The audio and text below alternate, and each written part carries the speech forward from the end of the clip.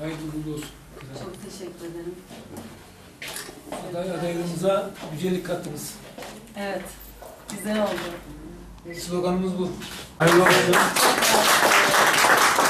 Çok sağ olun. Partimizin belediye başkanı aday, adaylığının son günü. Beşinci adayımız Büket Hanım. Partimizde ada, adaylığı sürecimize bir bayan olarak güzellik kattı. O nedenle kendisine teşekkür ederim. Yol açık olsun. Çok teşekkür ederim. Sağ olun. Ee, siyaset iddiasız yapılmaz.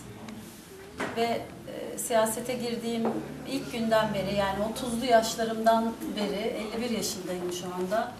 Ee, bir gün e, siyasetle halka hizmet edersem e, öncelikle Zonguldak'ta sonra Karadeniz Ereğli'de bu hizmeti yapmaya söz vermiştim. Ee, bu vesileyle yerel yönetimlerde yeterli bilgi birikimim, tecrübem, e, dünyaya açılan e, bir vizyonum e, ve bugüne kadar bu kentin, memleketin bana bütün kattıklarını yine burada bir namus borcu gibi hizmetle geri ödeyebilmek için e, bu adımı attım. Hepinizden aldığım güçle attım. Adaylığım açıklanırsa e, ilk yapacağım Karadeniz Ereğli'de ekonomiyi canlandırmak.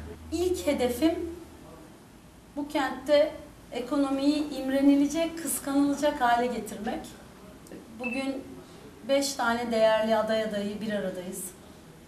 Özellikle e, Sayın İlçe Başkanımdan ve ilçe yönetiminden şunu rica edeceğim.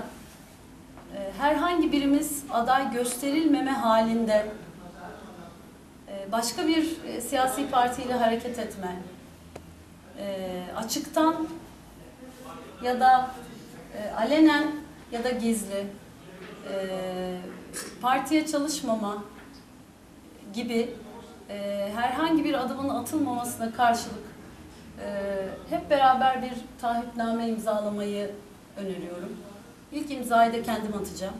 Öncelikle e, Karadeniz Ereğli halkının aklından aday gösterilemeyen bir Cumhuriyet Halk Partili'nin e, partinin kazanmasında e, herhangi bir e, sorun teşkil etmeyeceği konusunda kafaların net olması lazım.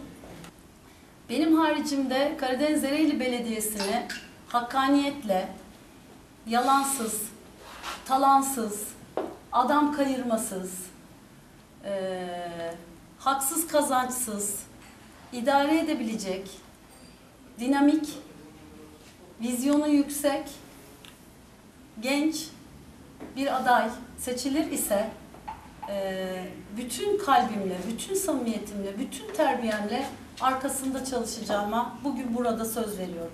Çok teşekkür ederim.